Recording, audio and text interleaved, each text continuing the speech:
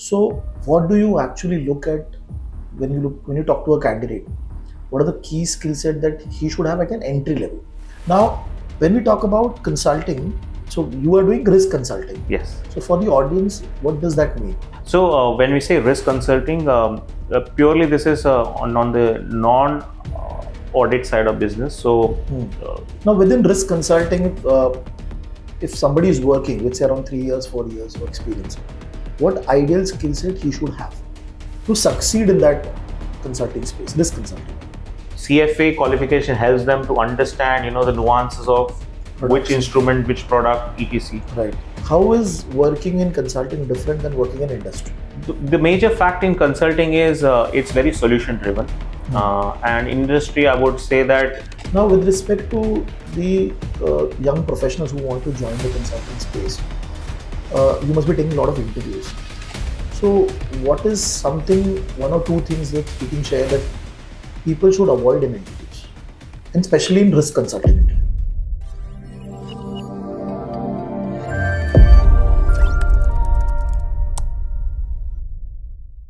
Hello guys, hi, this is Ganesh Nayak. I help finance professionals and students to excel in their career.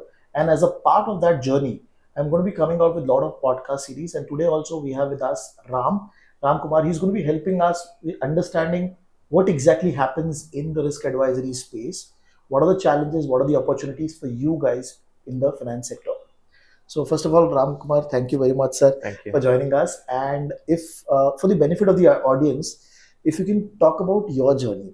So how you started in the industry and now being a partner at a particular company. What what are you? What are what was your journey overall? Perfect. Uh, so Ganesh, thank you for the opportunity. Uh, happy to do that because a lot of youngsters, including myself, when I started my journey, had lack lack of what you call guidance or mentoring. So happy to be here to speaking to you about this. Uh, my journey started um, way back in 2008, uh, but the journey started prior to that.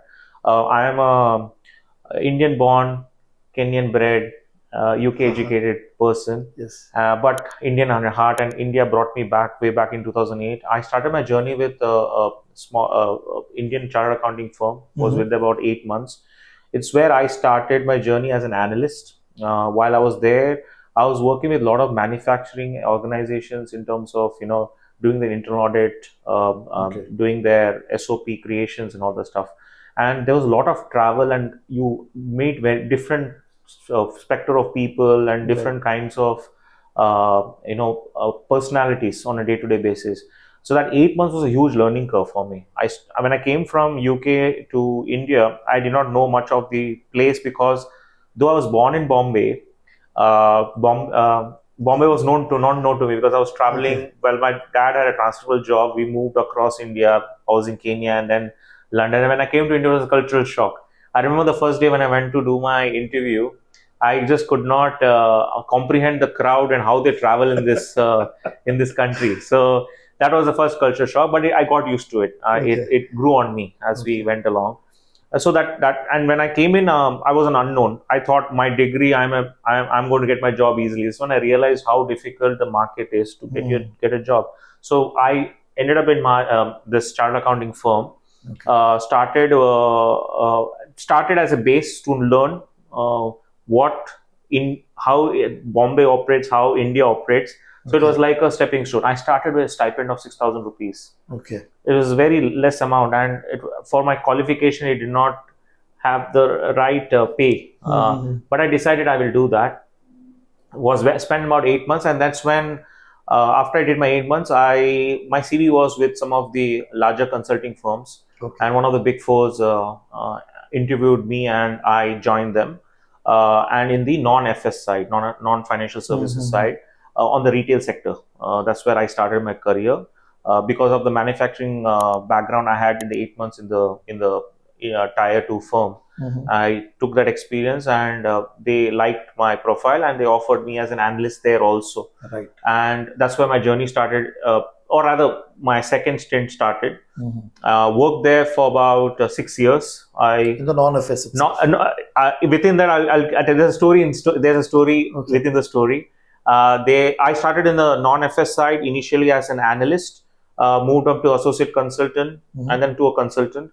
while when I was a consultant um, in the non-FS side, um, uh, there was uh, an opportunity. Uh, there is this mi- uh, mindset I had because of my background of being uh, holding a master's in international banking and finance. I wanted to do uh, something the banking side. I want to work in the financial service sector. So I had a word with my senior uh, in terms of wanting to have a transfer within the organization within a different business unit. Hmm. Uh, he was very uh, uh, kind. He was career oriented. He wanted his people to grow. Okay. He had a word with a very senior partner within the organization who was working in the financial service sector, and uh, hand got me an opportunity to get a transfer. So this was in 2012. So 2008 to uh, sorry 2008 to 2000 uh, sorry 2009 is the time I started in uh, uh, April and uh, November December I joined uh, this organization and for about three years I was um uh, working uh, in the non-FS side Okay. and 2012 I moved to the FS side Mhm. and I was there for about two years Okay. uh, within that team. Uh, 2015 is the time I was there in this organization, and then um, uh, I decided that of having spent six years in this organization, I thought I need to understand how other consulting firms operate, Okay. and that's when I moved to another larger uh, uh, big four. Mhm. Uh, was working with for for about a year, and then th- this was the time I I started working back with the senior who is yet work I'm working back with, and we Okay. work back together a lot. Uh, and with him, I moved um two or three organizations, and I I moved as a from when I when I left this organization, I joined uh, the other organization as a manager, and then uh, then associate director, then uh, moved uh, to Okay. my current organization as a director, moved on to an executive director, then to a partner. So Okay. the journey has been uh, over the, last 15 years. Uh, started as an analyst and to, to a partner, and every step I have, I have worked on every level, which is there in to, uh, on offer basically. Okay, wonderful. So now, so roughly around eight, nine years in the FS side, if I'm not wrong. Th- Just about 10, 10, 10 uh, 10 to 12 years, probably. Okay. Because three years was non-FS and about 12 years in FS. Yes. Okay. Now, for the benefit of the audience, what does a hierarchy generally looks in a any consulting firm? How does somebody what at what level somebody starts Okay. and like till what level maximum it can go? Good question. Uh, Ganesh, actually, um, uh, the hierarchy is um, quite um about seven or eight levels, you can say. Mhm. You start at a analyst uh, level or uh, intern level. That's the, the that's the entry point Okay. for freshers. Then you move on to a uh, to a associate consultant level. Hmm. Then you progress. Uh, that analyst level is two to three years is what they look at. Majorly two years. Then you move to consultant. In Hmm. consultant again two to three years. Hmm. Then you become a senior consultant another two to three years, Okay. and uh, manager another two to three years, and uh, you move uh, to um, uh, associate director. Sometimes some organizations call a senior manager level, AD or a senior manager. Mhm. Then you progress to a director, and then to a partner. Every stage you're looking at a two to three years. So if you're a high performing or a, or a person who is uh, absolutely good at what you're doing, it happens in a uh, two year time frame. Okay. But if you have a steeper learning curve, three years.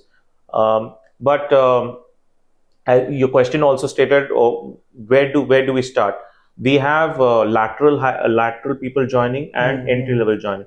Many people at entry level is at the analyst level, but we have lateral hires also. So people who have completed their chartered accountancy or completed the FRM or completed the CFA who Hmm. join us after they have uh, uh, attained their qualification, have got certain years of experience. So they come in at a, a uh, at a senior Consultant. consultant or a or a uh, consultant level, consultant, senior consultant, even at a manager level. So they are lateral hires. So people come from outside the organization. Like an example Right, being right, myself, right. who have moved uh, from organizations and laterally joined at a higher level. Got So entry points are throughout the seven or eight stages I've spoken about it. Hmm. largely many people join at the beginning level you know so a lot of Okay.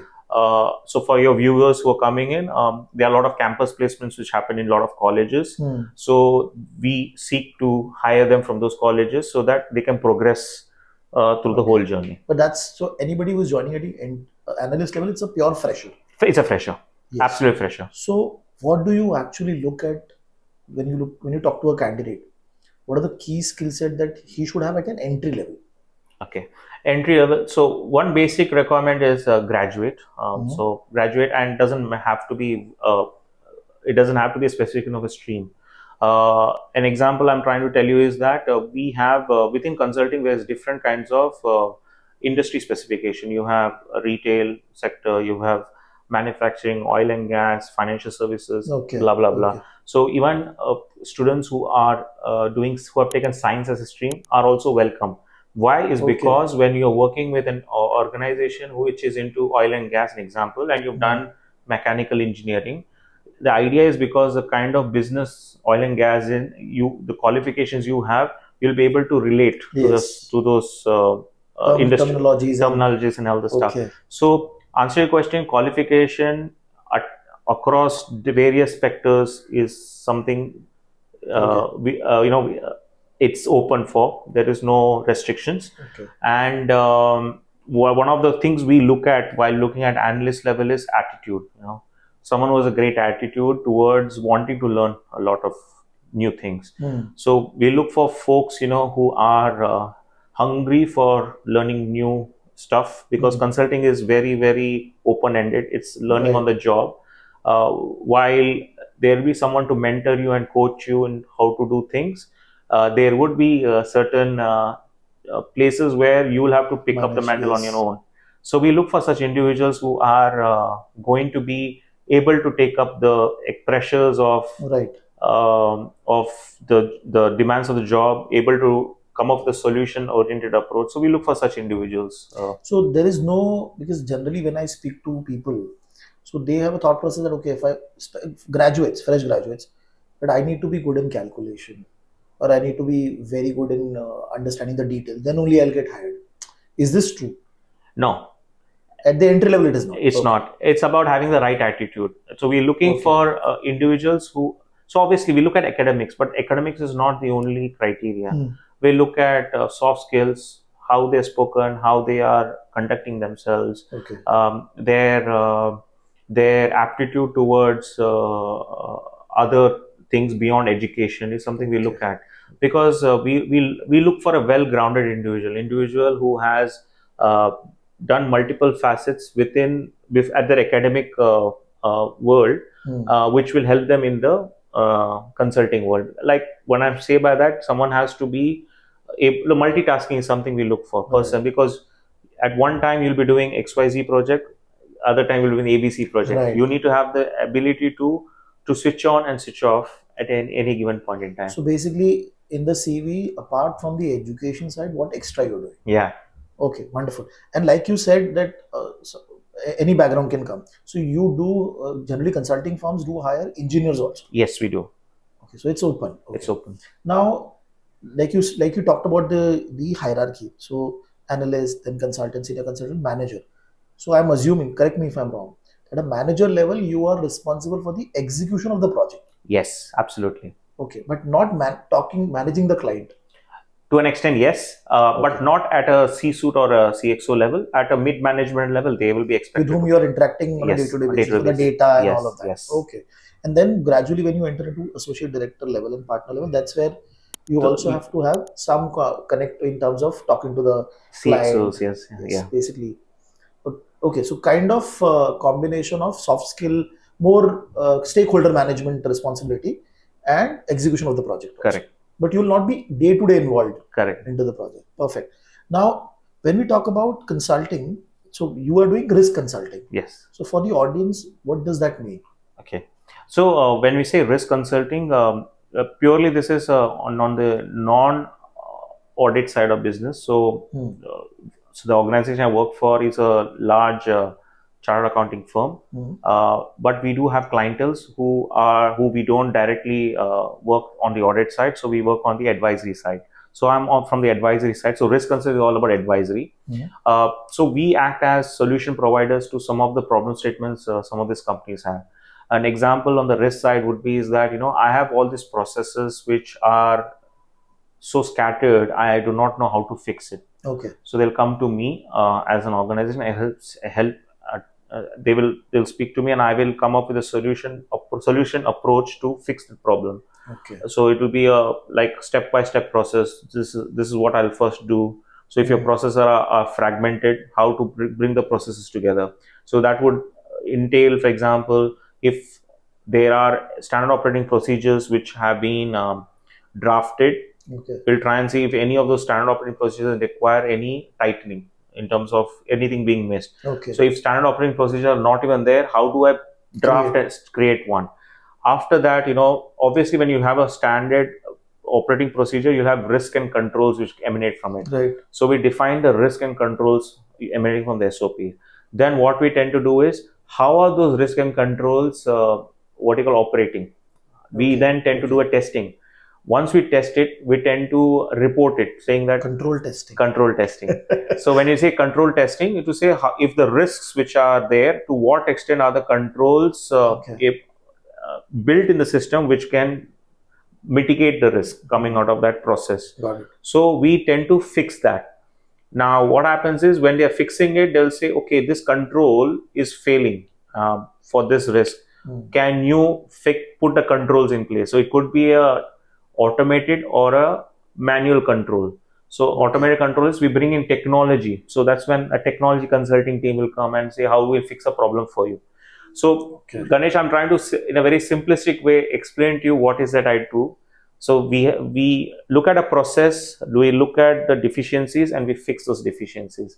It Okay. could be that a, uh, it could be a major or a minor fix, but that's what we do in But is it only related to the operations?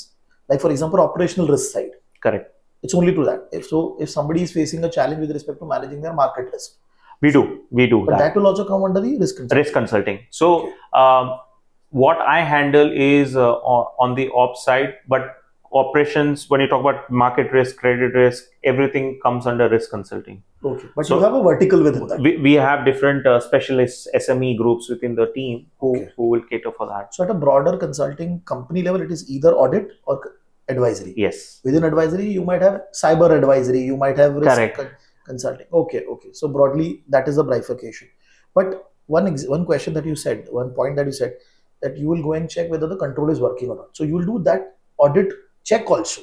Yes. So, uh, so uh, this is how it starts with. Uh, so, if, for example, let- let's take let's take a startup. A startup comes and uh, you know they have processes built in place, but these processes are very fragmented because because um, X Y Z is doing it on a basis. He it is there in his head that he does this. Right. It is not Right. documented anywhere, and uh, he doesn't have a time to document those processes. Mhm. That's why they come in. Look, I do this X Y these things, but I I do not have the time to to to document it. Can you will you able to help me? So our team will go, go to that person, sit with him on a day to do a walkthrough. We call it a walkthrough. Hmm. Walkthrough in sense we sit in his shoes, in his uh, right. in his uh, day-to-day job, understand what he is doing, and document it. That becomes a standard operating procedure. Once we put that in place, now we have done this uh, SOP. Yes, it is SOP based on someone's understanding of or what how the business needs to operate. Right.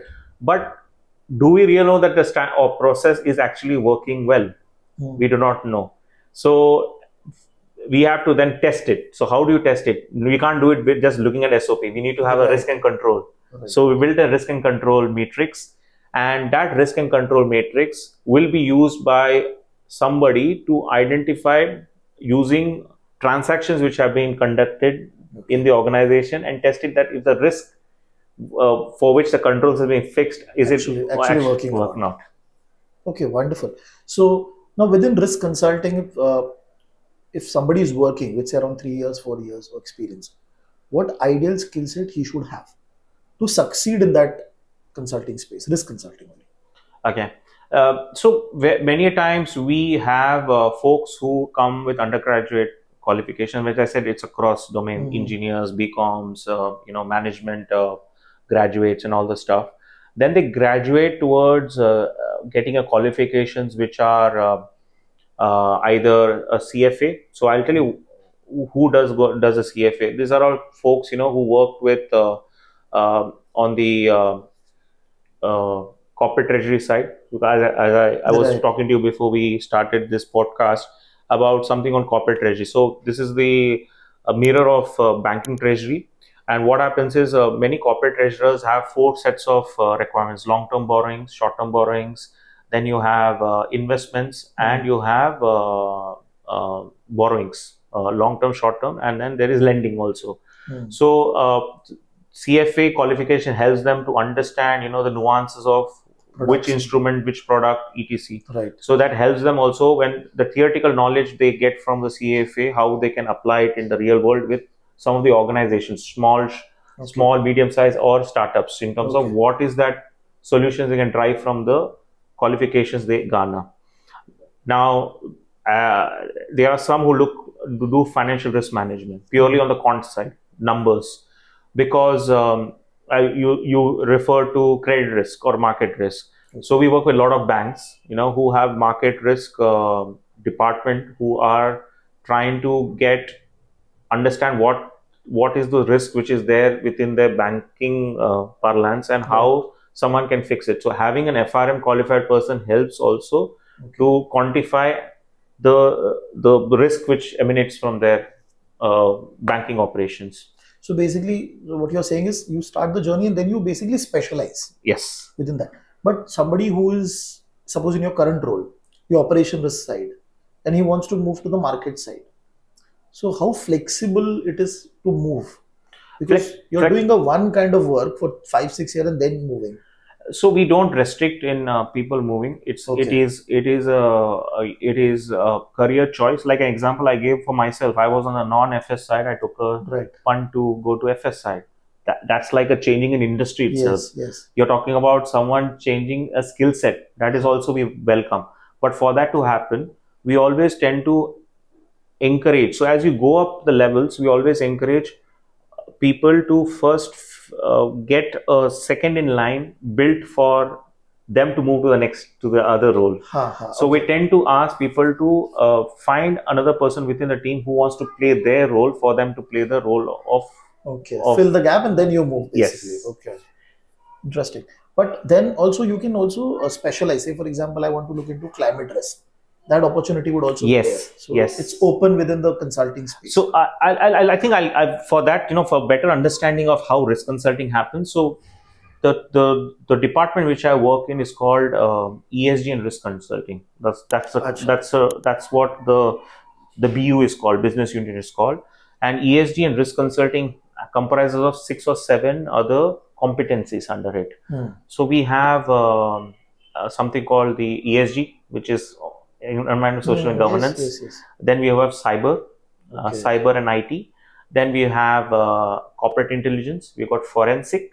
Then you have uh, Okay. uh, GRO, which is governance, risk, and organization. Okay. And then the fourth one, which I sit in, the financial services, risk advisory. Okay. So these are the six competencies. Within this competency, there are a lot of solutions which we offer. And um, your question you're asking in terms of if someone is wanting to work in climate risk, yes, uh, if there is an opportunity, there is always that uh, discussions which can happen between the two competency leaders, the partners within these BUs, to discuss and say that do you have a, a opening or are you looking for uh, a person? So obviously the fungibility needs to be there in terms of or an opening needs to be there for this transfer to happen or a project where he can work, he or she can work on a temporary basis, can provide the show, show the mental, and then Move to it, that. move That's to that. correct. Okay. But does that happen that when you go to a client, you got a project which is related to operations, and then within that you need expertise into cyber. That also happens. yes, So, so you will pitch in somebody from the cyber team. yes, He will work in the project. Okay. So, so this ESG and risk consulting uh, group, which I spoke about, uh, our mandate is uh, to provide our solutions not as one single competency, but as multiple competencies. So, it will require us to bring the cyber expertise. There's a lot of our clients who are looking for forensic expertise in the day-to-day work we are doing because they they Okay. don't want fraud related matters to be a afterthought. They want it to be Check. preempt, Yes. preempted and be to be built in the current process itself. Right. Okay. So we bring in our forensic experts also to see in terms of in the existing processes how can you put mitigants to avoid a risk of fraud happening. So uh, so all this uh, teams. So as you said, uh, climate risk. so we work with a lot of banks, you know, who are looking for ESG professionals. So we Hmm. have the ESG team. So we'll have a specialist from the ESG team who is uh, an expert on the climate risk side to work on a particular project, so that we can uh, work together and provide those solutions according to the client. So it's kind of a bouquet of service that you basically take to the client. yes. Okay. Now, for the audience, how is working in consulting different than working in industry? Okay. Uh, the, the major fact in consulting is uh, it's very solution driven. Hmm. Uh, and industry, I would say that you have a set of method, the method to the madness. In consulting, you don't have a, that. In consulting is uh, there is uh, control chaos. Let me put it that way. Uh, there is chaos. It's controlled, no, because every day is new. Um, yes. you wake up uh, today thinking that is what you're going to do, and but you end up doing something else Okay. that's how it is so consulting gives you a different flavor Hmm. and the biggest difference is that we don't work on one single thing we work on multiple things um, and uh, there are different sets of sizes of companies we work with. Uh, but we respect each and every client who we work for be it a large corporate or a mid-sized firm or a startup because we feel that each of them are uh, doing something in the growth journey where we can provide value to. Yes. so as answering your question that's what is the biggest difference. We work with different sets of uh, clientele uh, and provide different kinds of solutions and what industry does is you will you'll be probably in one department working on one set of Industry. things. Not saying that you're not going to be experimenting but that it's few and far between. Consulting gives you that flavor of doing multiple things uh, different solutions different uh, companies and sizes you can work with. So one connected question to this: Suppose if I'm a uh, consultant working, so I'll be working only on one project, or is it two, three projects into say insurance, bank, like that? Fair question. Uh, so, in the concept of, uh, we try to ensure that someone who is in at an entry level uh, works on a project for a longer time, Hmm. builds a specialization, and then works on multiple projects. It's not that you first come in and immediately you start working on multiple because Ah, ah, okay. it hampers your uh, uh, technical growth. So we want someone to become technically strong. So we tend to have people working on long term. When I say long term, at least for a year on Hmm. one particular client and one particular solution throughout the year. Once that person we know has ready and is is looking for a change, we try to start making them working on multiple projects. Right. Okay. So the answering that yes, there is um, so, uh, there is uh, at the early stages of your consulting journey, you will be working on one client or a long period of time, and then gradually progress in working on multiple clients. The multitasking comes later on. Okay. Now, one question which I also ta- asked you before is consulting hectic? Um it's it's it's uh, how you look at it. I think uh, it's it's. I think uh, today, Ganesh, if you had asked me, even industry has become hectic. It's just not consulting. Even Okay. even even if you ask uh, for works, people work in the corporate world, they also have long hours. You know, Mhm. uh, but um, in consulting, you know, we encourage uh, our folks to, you know, uh, plan their time, plan their personal time, and you know, uh, plan their calendars to such a way that you know uh, they have uh, the work-life balance which we sp- speak about. You know, we Mm. tend to ask them to take control of it rather than us defining what work-life balance is. Mm. Um, we have uh, periods of uh, up and down, and I say there are certain uh, seasons where you know work is for us. For example, March is a very difficult time. We tend Right. to ask people, you know, to to be ready for those periods, Mm. and then uh, so to, uh, to other parts of the year, you know, we tell them, you know, wherever there's lean time, we tell people, we encourage people to take breaks at the time. So hectic, uh, I think uh, it's a very uh, uh, subjective question. It depends on what you as an individual think what is hectic and what's hectic. Uh, if I were to put it. Okay. Yeah. So one, I was also talking to one of the consultant in other company. So he told me that consulting gives an opportunity to understand the business model. So what is your take on that? He's absolutely right. That's that's what happens. As I said at the start of the uh, podcast, when you asked me what we do as risk consulting, imagine um, getting to know the uh, length and breadth of what uh, Hmm. XYZ person is doing and knowing what the operations happen. The same person after he has learned all this, ends up uh, being part of a startup journey somewhere else because yeah, this is an idea. So he will say, How will I improve this idea further? So he or she, you'll find a lot of people who work in consulting have ended up in the startup journey also Okay. because it sprouts a new idea. They're able to uh, use what they've learned in the, over the years to put into fruition something which you know someone else may have not thought, or Right. something he thinks will bring bring more uh, benefit to the larger world. So Okay. Okay. Now, with respect to the uh, young professionals who want to join the consulting space, uh, you must be taking a lot of interviews. So, what is something, one or two things that you can share that people should avoid in interviews, and especially in risk consulting interviews? Hmm. One of the things is I think uh, being well prepared. You see, one of the biggest mistakes I've seen is uh, CVs uh, and uh, what the person says. You know, it does not tally.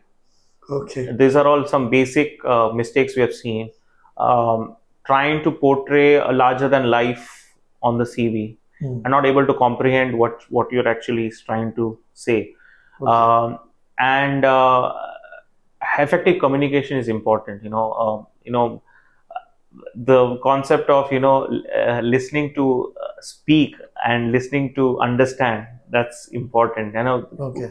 there is that basic uh, problem of we find in interviews where people are eager to speak not understanding what the question is and you know they, they want to they want to actually uh, uh, give an answer to what I, what the question uh, situation is something different to it i think that's that's important and um, the uh, i mean uh, the, there were a lot of interviews I've done. So this at the entry level, at least I know that you know um, the, many of them are uh, nervous, but you know what they don't understand. An interview is not a, a interrogation or anything of the sort. It is just for you for an interviewer to understand you much better what you bring to the table, Right. and uh, that's what we tend to encourage. Uh, most of our interviews are interaction. It's more psychological and uh, personal. You know, in terms of understanding the person better. That's what we try to do. Behavioral. We try to understand Okay. behavioral part of the person. So we take situation based interviews. So when I'm trying to do an interview, we tend to understand what is the person's strength and you know and what strength can be applicable for him when he joins Okay. us. So we try to question on those grounds. So if many a times a person is able to give those situations, he or she passes Okay. people who do, who tend to not answer those questions uh, correctly are the ones who tend to fail. Okay. So it is not a standard uh, question like where do you see yourself after five? No, that, what, what it's it's very subjective. I can't Right. answer. It it has to be behavior. It has to be situation based. Okay. It has to be like example is a fresher. I will ask him a question. Uh, give me a situation where you went through a difficult situation and how do you come up with a solution for it. An example is obviously he's not work in a work environment. He may have done an exam. He may not understood a solution to a maths problem, but you know he put an effort to understand it. That is a that is what I, what I'm trying to get to is how how you have come up with a solution to a particular problem. No, this is a very interesting thing because normally when freshers look at interviews, they feel that there are certain set of questions which what are your negatives, what are your positives, these. But consulting is a very different ball game, and the the way you interview somebody at an entry level, obviously the interviewing at a consultant or a manager level is will be different. Correct. what you look when you hire a manager.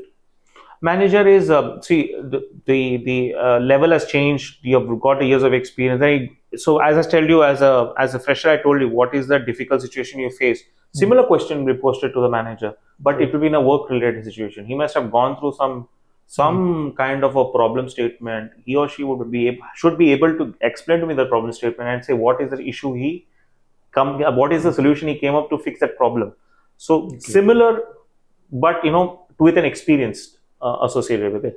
And as you go up, um, uh, we were speaking at the beginning of the podcast also. There is uh, uh, expectation of doing certain kind of sales also. So Mhm. what is that you've done on a sales side, on a business development? How have you coached people? So as a fresher, I can't ask him about what you've done in coaching. Obviously, he himself is a fresher. Who is he coach, going to coach? Barabar. A manager Hmm. will be expected. He would have a set of team members. How he how he groomed a team member Okay. how he ensured you know difficult conversations how did he give constructive feedback what was the feedback you know how, and how did the person uh, react to that feedback conflict situations these are things which we ask in our interviews because Okay. uh, asking um, so these are all your uh, so we call it competency based and technical so when i say technical your cv is your technical because Which project you have worked? yes your experience blah Okay. competency is what we then cater uh, that is our focus point technically you're sound you may be you may, you may be a star in what you do technical but people is what we deal with on a day-to-day basis so if Okay. you are not able to answer your people related questions properly Hmm. you're going to have challenges in operating an organization like ours where we are dealing with people on a day-to-day basis That's the main asset. assets Right. So, uh, from the managerial level, generally you start managing a team. uh, Like before that. that also so um, you are an individual contributor at an analyst or a consultant level majorly Hmm. When you become a senior consultant uh, in some places we call it assistant managers uh, you tend to have junior members reporting into you because you're basically doing a larger project you have people under you you have analysts and interns working with you so you start to have people manage your, your Okay. managing still starts from there because you can't expect uh, someone at a manager level starting to start managing people you need to start somewhere Right, right, right. So one level down, you prepare for the next Yes. level. That's a very interesting take, and that's what I think. So a lot of people should also look in their career, not only in consulting, but career that if you want to, if you aspire to go somewhere, you start preparing yourself from that space. Now let us come to one very good question, which a lot of candidates might have: compensation. So when what are the factors which are going to impact your compensation? And I'm not looking at numbers. I'm looking at how you grow in uh, monetary wise in a consulting space. So, um, I, on a fresher, you know, it's a standard industry, uh, Hmm. uh, what do you call benchmark, you know, and then uh, once you move up, uh, there are bandings. So, all these uh, levels which I spoke about have bandings as Hmm. you progress, and um, uh, what decides your compensation is what uh, expertise or what specialization you bring in Okay. um, and uh, that defines your uh, salary package. But on an entry level, uh, it is purely uh, a standard practice. You're fresher. Uh, it is more of an investment for that person because you will not find it as a graduate you're going to be earning a lot, Mhm. a lot of Got money. Yes, yes. Uh, but uh, as you bring brings in, as you build your experience and years of experience, you tend to grow Okay. within the organization and obviously it is just not about salary it's about uh, the bonus also so Mhm. uh, if an if a person is done exceedingly well obviously the bonus which he gets will be uh, paid to him Right. at the end of the year which is not as uh, uh, while in industry there is this standard uh, which in consulting there is a possibility to earn more Hmm. because of the fact that uh, there is that uh, risk and reward so Right. uh, so the more the person has worked well, there's an opportunity to the, the guy to get more on the variable part. Okay, but is I'm not aware about it, but you have to you can con- uh, confirm this. So do we also take clients' feedback? Yes, we do. Huh. We so, do. But this happens at a manager level and above. So there are two sets of feedback. There is an internal feedback. So for appraisals also, we have uh, project-based appraisals. So for example, if you have done seven up seven projects, seven different uh, appraisals are created for that person to Okay. get feedback on each project. That will decide a person's um, what you call um, uh, what uh, for the appraisal. Uh, The overall appraisal. yeah, it, it will collate it and uh, Okay. that person will get so-called uh, rated and AETC and his bonus and his his promotion etc will be decided through those projects. That is on internal. On the external side, especially when you are uh, a, a senior manager and above, or even as a manager and above, because you're working with clients, um, there is something called clients uh, uh, client satisfaction feedback.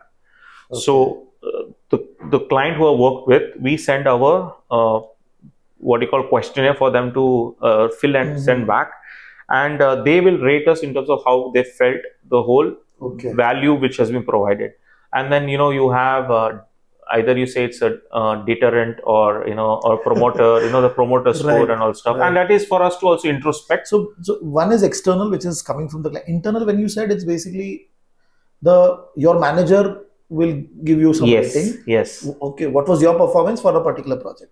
Okay, okay. and that will then translate into your uh, overall appraisals Overall appraisal. obviously that is just projected and there are other things other facets kpis which needs to Ah. also add up Right. for xyz to uh, to get a particular rating or a promotion or a increment so these are all factors but for feedback purpose there's internal feedback uh, uh, mechanism uh, which will allow for the person to get uh, constructive uh, feedback or praise you want to call it Hmm. for the projects done and uh, there are certain mechanism uh, in consulting where uh, there is uh, spot awards and you know all that stuff which is given for Right.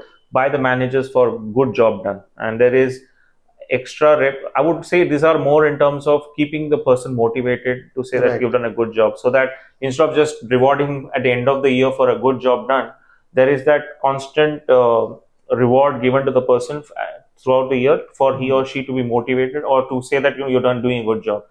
The contrary also is true where someone may not be doing that well. So how do you address it and not fix it at the end of the year Okay. And throughout your journey, if you can highlight two, three key lessons that you have learned the day you started into this consulting space and actually uh, honestly say ganesh uh, when i started um, in my first journey at big four i did have a breakdown and i, I never thought i would spend 15 plus years in this journey so i think um, i uh, what i would say is that perseverance is important in this uh, Hmm. so you got to love your job you got to be passionate about it uh, you need to have a discipline okay and you, you need to have the attitude right attitude you know you may be uh, uh, highly qualified but if you don't have the right attitude it will be very difficult for you to uh, Okay. uh, what you call progress not only in consulting any walk of life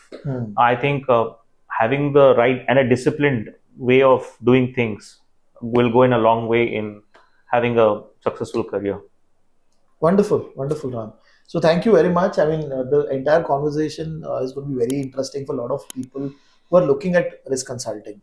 So because there are a lot of myths, a lot of misinformation which is there. So your conversation definitely can help them, guide them, and motivate to enter into the space and create a career. My- So thank you very much for taking out time. thank you Thank you very thank much. you